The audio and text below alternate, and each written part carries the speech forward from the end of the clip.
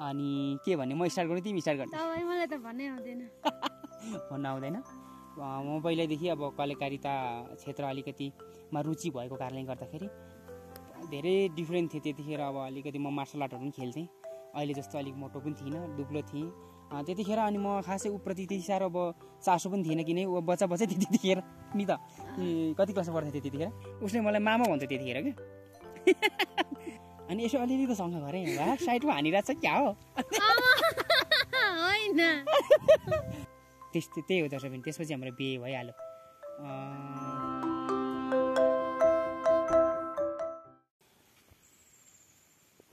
Hello hi नमस्कार। यहाँहरू सम्पूर्णलाई फेरि पनि स्वागत छ हाम्रो च्यानलमा र हामी दुवैजनाको तर्फबाट म केदार राई। नमस्कार सबैजनालाई म समिता राई। अनि तपाईँहरूले अनुमान लगाइसक्नुभयो यो आज के सम्बन्धी भिडियो हो भनेर।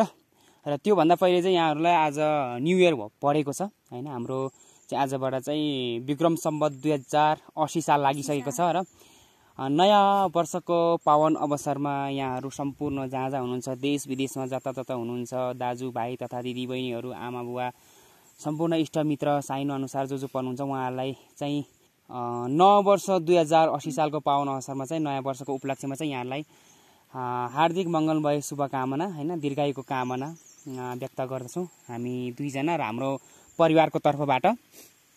र आजको भिडियो चाहिँ स्पेसल्ली यहाँहरूको धेरै डिमान्ड थियो यो भिडियोको चाहिँ होइन? अब तपाईँहरूको लभ स्टोरी सुनाउनु पर्यो कसरी बिहे भयो कहाँ भेट भयो आदि इत्यादि कुराहरू होइन? हुन त यो अब अलिक पछि नै गरौँला यो भिडियो चाहिँ भन्ने सोचेको थिएँ। तर यो फेरि आज ठ्याक्कै नयाँ वर्ष पनि पऱ्यो त्यही भएर नयाँ वर्षको उपलक्ष्यमा पनि यहाँहरूलाई यहाँहरूको डिमान्डलाई होइन यहाँहरूको लागि कोसेली भनेर नयाँ वर्षको पावन अवसरमा होइन त्यसको लागि भनेर आज यो भिडियो लिएर आइरहेको छौँ। र आज चाहिँ हाम्रो अब कतिपय कुराहरू त बिर्सिसक्यो जति जति याद हुन्छ होइन अब हुनु त धेरै वर्ष भएको छैन हामीले बिहे गरेको लगभग तिन वर्ष हुन आँट्यो होइन तिन वर्ष अब साढे दुई वर्ष जति भयो होइन। अनि जति जति याद छ हामी तपाईँलाई भन्छौँ डिटेलमा होइन? अहिले चाहिँ हामी यहाँ बाहिर छौँ। यो के भन्छ हाम्रो घरदेखि वरतिर एउटा हाम्रो यहाँ सिङ्गाने गाडी छ निङ्गालो गाडी। यहाँ चाहिँ चराचुरुङ्गीको आवाजहरू पनि आइरहेछ होइन? पर चाहिँ अलिक डिस्टर्ब हुन्छ मान्छे आउने जाने भइरहेको हुन्छ त्यही भएर डिस्टर्ब हुन्छ। अनि त्यही भएर बा बाहिरको वातावरणमा जाउँ न भनेर सल्लाह गरेर समिता र म होइन? बुढाबुढी आएको छौँ। अनि के भन्ने म स्टार्ट गर्नु तिमी स्टार्ट गर्ने मलाई त भन्नै आउँदैन। भन्न आउँदैन। अनि हाम्रो चाहिँ यो लभ स्टोरी कहाँबाट सुरु हुन्छ भनेर चाहिँ एक्ज्याक्टली यहाँबाट भन्ने ठाउँै छैन कि। कस्तो भन्दाखेरि हाम्रो पहिलो भेट चाहिँ लगभग हाम्रो पहिलोचोटि उसले र उसले मलाई र मैले उसले देखेको चाहिँ विक्रम सम्बत दुई हजार त्रिहत्तर चौहत्तरको बिचमा हो होइन? त्रिहत्तरको अन्तिम चैत फागुन चैतिर होइन? चैत र वैशाख एक गते। त्यो बेला चाहिँ म भोजपुर आएको थिएँ जुन मयुङ छ। मयुङ डाँडामा चाहिँ त्यतिखेर मयुङ महोत्सव लागिरहेको थियो त्यतिखेर होइन? यहाँ तिम्मा सरकार समाज समथिङ के के छ त्यो मैले बिर्सेँ होइन? उहाँहरूले चाहिँ आयोजना गर्नुभएको थियो होइन? धेरै वर्ष भयो नि त मैले बिर्सेँ। त्यहाँ चाहिँ मलाई भिडियो एज अ भिडियोग्राफरको रूपमा हाम्रो दिवाज राई किराँती हुनुहुन्छ अहिले चाहिँ हाम्रो मामा ससुरा पर्नुहुन्छ उहाँले मलाई ल्याउनु भएको थियो त्यतिखेर होइन? अनि त्यहाँ म भिडियोग्राफी त्यतिखेर चाहिँ म के गर्थेँ भने भिडियोग्राफीहरू एडिटिङहरू गर्थेँ अलिअलि सिरियलहरूतिर पनि खेल्थेँ। म पहिल्यैदेखि अब कलाकारिता क्षेत्र अलिकतिमा रुचि भएको कारणले गर्दाखेरि त्यो क्षेत्रमा लागिरहेको थिएँ। त्यतिखेर म अनि केही सिरियलहरू पनि खेलिसकेको थिएँ। कुनै कुनै भर्खर भर्खर होइन त्यो अब कहाँ हराएको छैन अहिले। त्यतिखेर युट्युबको उ थिएन चलन थिएन। युट्युब भएको भए त युट्युबमा हालिन्थ्यो होला। त्यतिखेर खासै युट्युबहरू पनि त्यति चलन थिएन सिरियलहरू हाल्ने भर्खर भर्खर मात्रै हो। त्यो बेलामा मैले उसलाई पहिलोचोटि देखेको र उसले पनि मलाई पहिलोचोटि देखेको हो होइन? त्यतिखेर म अलिकति धेरै डिफ्रेन्ट थिएँ त्यतिखेर अब अलिकति म मार्सल आर्टहरू पनि खेल्थेँ। अहिले जस्तो अलिक मोटो पनि थिइनँ दुब्लो थिएँ। अनि त्यतिखेर मैले चाहिँ उसलाई खासै धेरै चिन्दिनँ थिएँ। मैले देख्नु चाहिँ देखेको तर को भनेर चिन्दिनँ थिएँ। तर उसले चाहिँ मलाई स्पष्टसँग स्पष्ट रूपमा चिन्थ्यो। किनभने मैले त्यतिखेर सिरियल खेलिरहेको थिएँ एउटा हाम्रो अलपत्र भन्ने पनि बनाइरहेको थियौँ। अँ, अलपत्र चाहिँ अहिले पनि युट्युबमा हेर्न सक्नुहुन्छ होइन? त्यतिखेर भर्खर हामी सिक्दै थियौँ काम सिक्दै थियौँ त्यो सिरियलबाट अनि त्यहाँ खेलेकोले गर्दाखेरि उसले चाहिँ मलाई राम्रोसँग चिन्थ्यो लैलै कान्छ लैलै कान्छ भनेर। त्यो गाउँभरि सबैले लैलै कान्छ भनेर चिन्नुहुन्थ्यो। उसको घर फ्यामिलीमा होइन? अहिले चाहिँ हाम्रो ससुराली हाम्रो ससुरा वा ससुरा मम्मीहरूले पनि सबैले चिन्नुहुन्थ्यो लले कान्छा भनेपछि सबैले चिन्नुहुन्थ्यो। लले कान्छाको मैले क्यारेक्टर गर्थेँ र त्यतिखेर चिन्नुहुन्थ्यो र मैले चाहिँ उसलाई पहिलोचोटि देखेकोले गर्दा खास कुन घरको के हो? म चिन्दिनँ थिएँ राम्रो स्पष्टसँग। त्यस मैले उसलाई भेटेको हो भन्ने चाहिँ याद छ मलाई त्यतिखेर। त्यतिखेर अनि म खासै ऊप्रति त्यति साह्रो अब चासो पनि थिएन किन ऊ बच्चा बच्चै थियो त्यतिखेर। नि त कति क्लासमा पढ्दै थियो त्यतिखेर? आठ। आठ क्लासमा पढ्दै थियो है? अनि आठ क्लासमा पढ्ने त अब केटी अलिकति सानै हुन्छ नि त। अगाडि हामीले यहाँ मोबाइलमा रेकर्ड गरिरहेको छौँ किनभने अब हावा आइरहेको छ ऊ आठ क्लासमा पढिरहेको थियो त्यस कति वर्ष थियो? बाह्र तेह्र वर्षको थियो होला त्यतिखेर। नि। अनि त्यतिखेर खासै नबोल्ने अहिले जति पनि नबोल्ने हो खासै बोल्दैन थियो अनि बोलाउँदै मैले चाहिँ धेरैचोटि बोलाएँ तर ऊ बोल्दैन थियो लाजाले भागी हिँड्थ्यो अनि ऊ चाहिँ त्यतिखेर त्यो डाँडा महोत्सवमा चाहिँ किन गएको थियो भन्दाखेरि आयोजक टिमले उहाँहरूलाई चाहिँ त्यहाँ हेल्पको लागि होइन किचनमा खाना बनाउने बाँड्ने त्यहाँको अतिथिहरूलाई बाँड्नको लागि लगेको थियो उनीहरूलाई चाहिँ। म चाहिँ एज अ भिडियोग्राफर गएको थिएँ भिडियो सुट गर्नलाई त्यो प्रोग्राम। त्यतिखेर भेट भएको थियो। अनि त्यतिखेर हाम्रो कुरै भएन। भेट देख्नु पनि त्यही दुई दिन जो जति दिन महोत्सव भयो त्यति दुई दिन कि तिन दिन भयो? तिन दिन भयो नि। तिन दिन मात्रै देखा देखो त्यहाँदेखि ऊ गाउँमा पनि धेरैचोटि गएँ त्यस पछाडि पनि तर भेट भएन हाम्रो। ऊ स्कुल जान्थ्यो होला म आफ्नै काममा होइन? त्यस पछाडि पनि हामी सिरियलहरू होइन एडिट सरी सुटिङ गर्नको लागि त्यही गाउँमा पनि गयौँ। म चाहिँ एउटा क्यामेराम्यानै गएको थिएँ अनि उसलाई भेटिएन भेट भएको थिएन। अनि त्यसपछिबाट धेरै पछि लगभग दुई वर्ष कि डेढ वर्षपछि चाहिँ उसले मलाई फ्रेन्ड रिक्वेस्ट पठाएको थियो। फेसबुकबाट अनि उसले चाहिँ मलाई एउटा के छ भन्दाखेरि एउटा रहस रहस्य के भने एउटा अहिलेसम्म नखुलेको कुरा के भने उसले मलाई मामा भन्थ्यो त्यतिखेर क्या।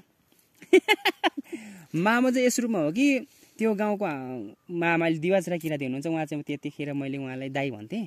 हाम्रो अफिसको हुनुहुन्थ्यो नि त चेयरम्यान उहाँ हुनुहुन्थ्यो उहाँसँग गएको थिएँ उहाँ चाहिँ उसको मामा पढ्नुहुन्छ त्यही भएर उहाँको साइनोबाट मैले दाई भनेको कारणले अब मामाको साथी मामै भनेर उसले मलाई मामा भनेर सम्बोधन गर्थ्यो त्यतिखेर होइन?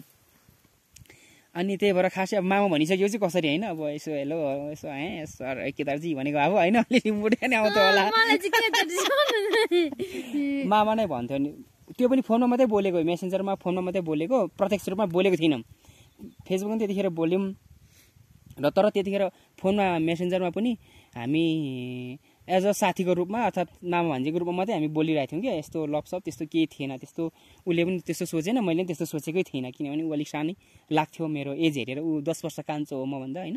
त्यस कारणले गर्दाखेरि उसले मलाई मामा नै भनेर सम्बोधन गर्थ्यो। अनि कुरा भए बिचमा फेरि उसको त्यो आइडी चाहिँ उसले बिर्सेछ पासवर्ड। त्यसपछि कुरा भएन फेरि। लगभग झन्डै पाँच छ महिना जति कुरा भएन नि। पाँच छ महिना त्यस्तै कुरा भएन। पछि फेरि अर्को आइडीबाट रिक्वेस्ट पठाएको थियो। अनि यसो अलिअलि त सँग गरेँ। वा साइडमा हानिरहेको छ क्या हो? होइन। होइन रिक्वेस्ट दोहोरी दोहोरी उसले नै मलाई सर्च गरेर फ्रेन्ड रिक्वेस्ट पठाएको थियो। अनि कुरा चाहिँ भइ भइरहेको थियो होइन? अनि भयो भयो त्यसपछिबाट पछि फेरि हाम्रो अहिलेको जुन त्यसपछि लगभग त्यो फर्स्ट टाइम भेटेको पाँच वर्ष छ वर्ष पछाडि लगभग योभन्दा दुई वर्ष अगाडि दुई हजार अठहत्तर अठहत्तर सालमा होइन सतहत्तर सालमा आएको होइन सतहत्तर सालमा चाहिँ म फेरि एज अ मैले जुन युट्युब काम गरिरहेको थिएँ युट्युबमा एज अ क्यामेराम्यान र एडिटरको रूपमा उहाँले चाहिँ मलाई त्योभन्दा अगाडि मैले अरू अफिसमा पनि काम गरेँ। जस्तो दुईवटा अफिसमा मैले सिरियलहरू एडिट गरेको छु धेरै होइन? तपाईँलाई थाहा छैन होला। सिरियलहरू पारिवारिक सिरियलहरू कमेडी सिरियलहरू मैले एज अ एउटा प्रोडक्सन हाउसमा एडिटरको रूपमा काम गरेँ। कहिलेकाहीँ खिच्न पनि जान्थेँ। अनि त्यो एडिट गर्दा गर्दै अब लकडाउन हुनुभन्दा अगाडिको कुरा हो त्यो। अनि त्यसपछिबाट मैले अर्को अफिसबाट अर्को अफिसमा सिफ्ट भएँ। त्यो त्यो अफिसमा फेरि काम रोकियो सिरियलहरू भएन अनि युट्युबको भिडियोहरू मात्रै आउँथ्यो। अनि नगर्नु पऱ्यो सोच भयो। अनि त्यसपछि हाम्रो मामाले पनि मलाई त्यतिखेर त दाई भन्थे दिवाज राति। उहाँले मलाई अफर गर्नुभयो होइन?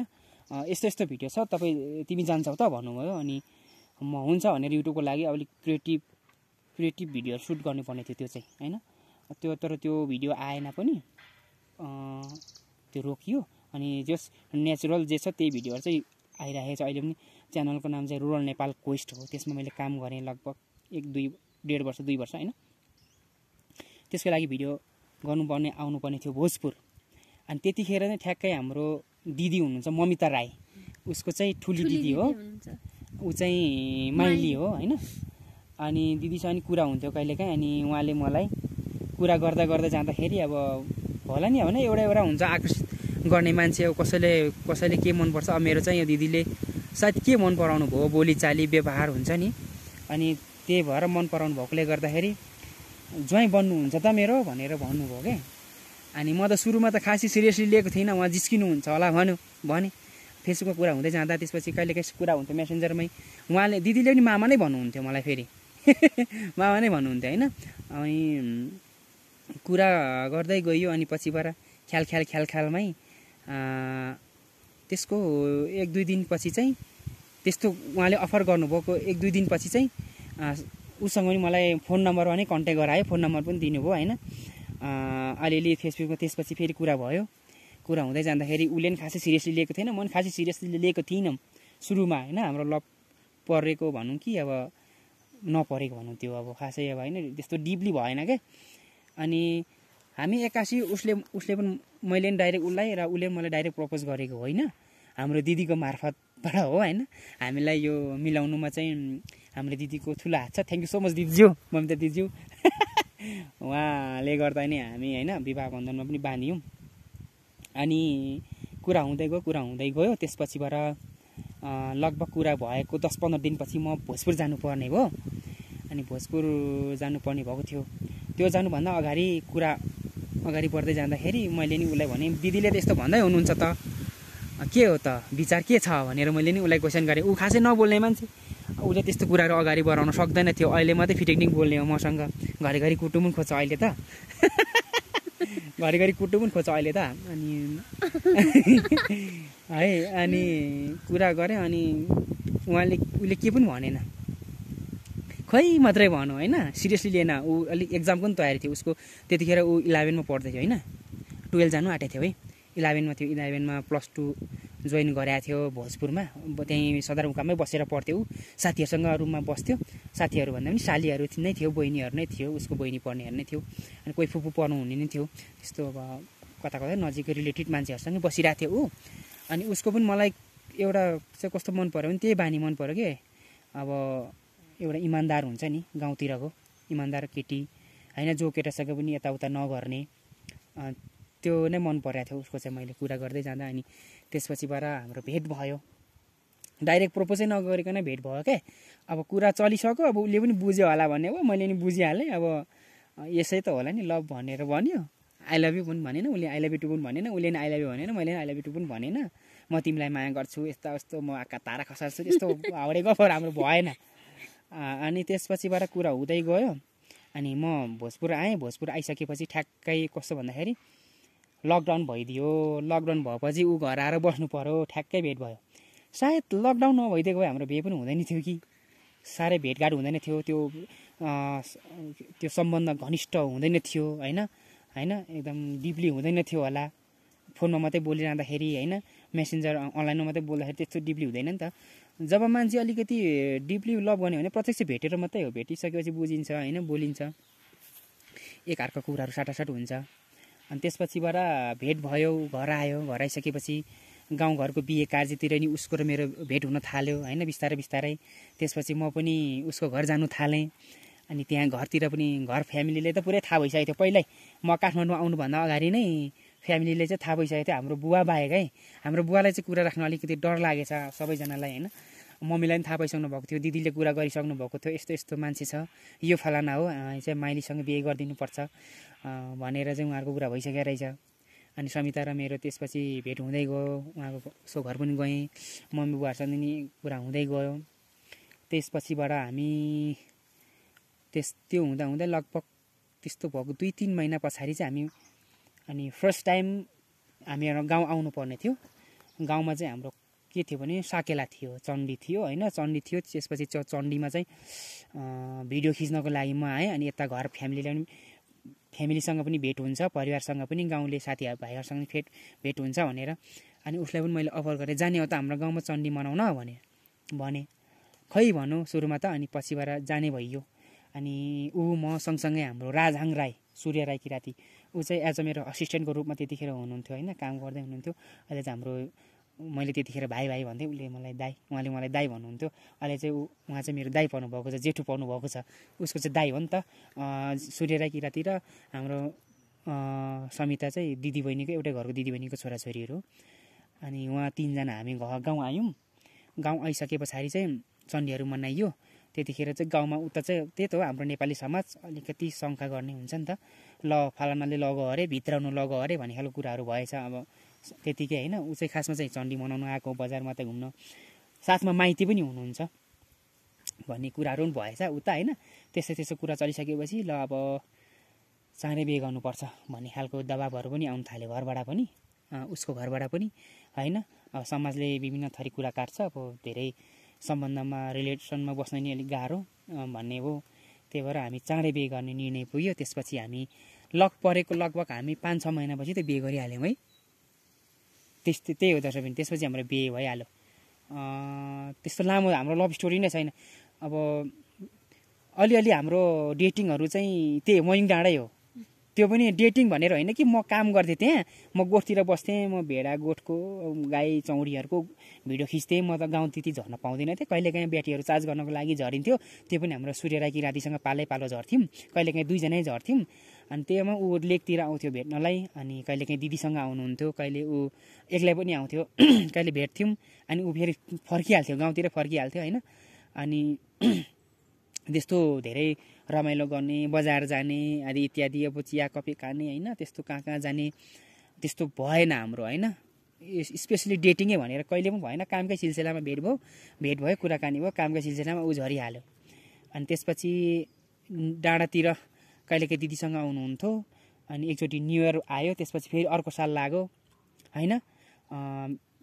न- नयाँ साल लागिसके पछाडि न्यु इयरहरू पनि मनायो सँगै बसेर डाँडातिर। अनि त्यसपछि हाम्रो त्यसको दस पन्ध्र दिनपछि मैले यता घरमा कुरा राखेँ अनि मैले अनि यताबाट हाम्रो दिपहरू जुन हुनुहुन्छ अहिले शिवराज राई चिन्नुहुन्छ राम्रैसँग। उहाँहरूलाई कुरा राखेर ल दुई तिनजना आउनु पऱ्यो यहाँ मागेर लानु पऱ्यो भन्ने खालको कुरा गरियो। त्यसपछि उहाँहरू यहाँबाट सबै तिन चारजना आउनुभयो होइन? तिन चारजना आउनुभयो।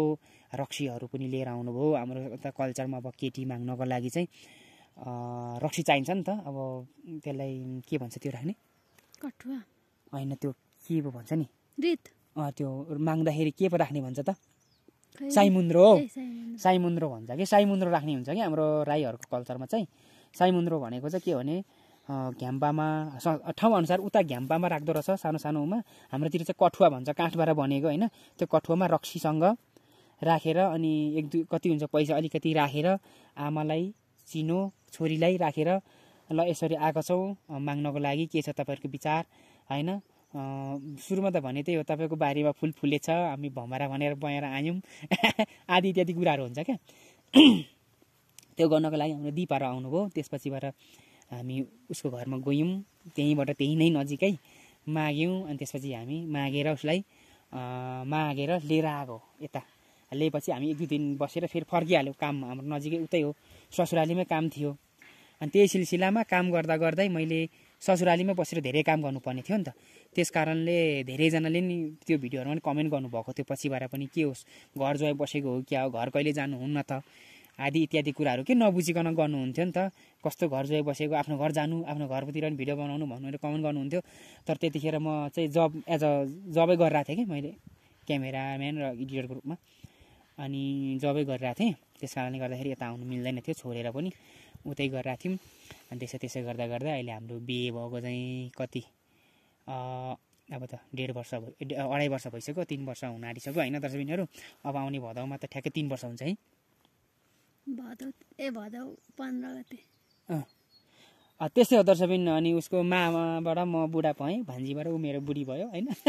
त्यस्तो नजिकको मामा भान्जी होइन? एज उसको मामा पर्ने भएकोले ऊको साथी मामाको साथी नै मामा भनेर बोलाउँथ्यो। तर हाम्रो एकदम मजाले कुल कुटुम्बेरी हो चल्ने हो कि? हाम्रो साइनो चल्छ मजाले बिहेबारी मजाले छिनिन्छ त्यस्तो साइनो लाग्ने होइन। अनि हुन त अब डाँडापारी डाँडाबारी हाम्रो जिल्लै अर्को उहाँहरू नै उहाँहरू बुल्टिन साम्बाङ राई म नासिरिङ राई नै होइन। हाम्रो पाछा नै फरक पऱ्यो पाछाभित्र पनि धेरै थरी थरीको हुन्छ पाछाहरू पनि होइन। यहाँ फेरि हाम्रो दिपहरू चाहिँ छेतापी साम्बाङहरू हुनुहुन्छ होइन। यता मेरो बुढा पढ्नुहुन्थ्यो होला छेतापी साम्बाङहरू फेरि मिल्दैन मैले बिहे गर्न। बुल्टिन साम्बाङ भएकोले गर्दा मैले उसलाई बिहे गर्नु मिल्ने भयो। बान्ताहरू गर्नु मिल्छ। अरू अरू मिल्छ होइन? त्यस्तो भएको दर्शकबिनहरू हाम्रो लभ स्टोरी यति नै हो धेरै जा टाढा जानु भएन हाम्रो लभ स्टोरी चल्यो लगभग लामो धेरै लामो भनेको हाम्रो छ महिना सात महिना हो लभ चलेको है। लभ परेको त्यति हो। त्यो पनि त्यस्तो धेरै अब यता जाने उता जाने भएन। चाँडै बिहे पनि भइहाल्यो। अनि त्यस्तै हो दर्शकबिनीहरू है। कुरा अनि यति भन्दै अब अब यति कुरा हो। अब बिर्से कतिपय कुराहरू तिमीलाई कुनै याद छ त्यस्तो मुमेन्टहरू? मैले त बिर्स्यो कुनै याद छैन? उसले त्यति त्यही त ऊ बोल्न खासै थाहा भएको कुराहरू पछि थाहा पाउँछ। उसले उयो सम्झिन्छ अनि पछि भन्छ ऊ यस्तो थियो नि भन्छ भरे फेरि। सम्झ्यो भने। मैले बोल्नु सक्दैन क्यामेरामा भन्न सक्दैन। अब मैले पनि त बिर्सिहालेँ कति होइन? म चाहिँ अझै क्यामेरामा चाहिँ यसरी अलिक कन्फिडेन्ट तरिकाले बोल्ने तारण चाहिँ के हो भने मैले पहिला अलिअलि एक्टिङ गर्थेँ। सुटिङहरू गरिन्थ्यो। मुभीतिर नि गरियो कहिले अलिअलि सानोतिनो होइन? त्यस कारणले गर्दाखेरि अलिक क्यामेरा अगाडि खासि बोल्न त्यति पारा नपुरे नपुगे पनि त्यस्तो डर चाहिँ लाग्दैन मलाई। बोल्छु जस्तो मुखमा आउँछ त्यस्तै बोल्ने हो। त्यस्तो अब राम्रो तरिकाले बोल्न त आउँदैन होइन? त्यही हो दर्शकबिनहरू होइन? भन्दै फेरि पनि तपाईँहरूलाई ह्याप्पी न्यु इयर है। दुई हजार उना दुई हजार असी सालको चाहिँ। यहाँलाई धेरै धेरै शुभकामना होइन? अब न्यु इयरको अब हाम्रो भ्लग आउँछ फेरि। न्यु इयर हामी माथि डाँडामा गएको छौँ मनाउन जानेछौँ होइन? डाँडा जानेछौँ। त्यसको भ्लग बिस्तारै आउँछ। अब एक दुई दिनपछि आउँछ प्रतीक्षा गर्नु होला होइन? पिकनिक खानेछौँ न्यु इयर मनाउनेछौँ तपाईँहरू पनि राम्रोसँग मनाउनु होला। अझै अब वैशाखभरि त न्यु इयरै हुन्छ। सबैजनालाई ह्याप्पी न्यु इयर सुस्वास्थ्य दीर्घायुको कामना होइन? उत्तर उत्तर प्रगतिको कामना यहाँहरू सम्पूर्णलाई हामीलाई पनि माया गरिराख्नु होला। हाम्रो च्यानललाई सब्सक्राइब गरिराख्नु होला। कति धेरैजना अनसब्सक्राइबर हुनुहुन्छ कृपया हाम्रो च्यानल सब्सक्राइब गरिदिनु होला। फेरि पनि मैले बिन्ती गरेँ। हाम्रो सब्सक्राइब अलिक अड्किरहेको छ। त्यही भएर बिन्ती गर्नु परेको हो। भन्दै आजको भिडियो चाहिँ हामी यहीँ इन गर्न गइरहेको छौँ होइन? फेरि न्यु इयरको अर्को भिडियो लिएर आउनेछौँ। त्यति दिनसम्म चाहिँ हाम्रो युट्युब च्यानल हेर्दै गर्नु होला आजलाई चाहिँ भने बाई बाई नमस्ते अनि सी यु है त।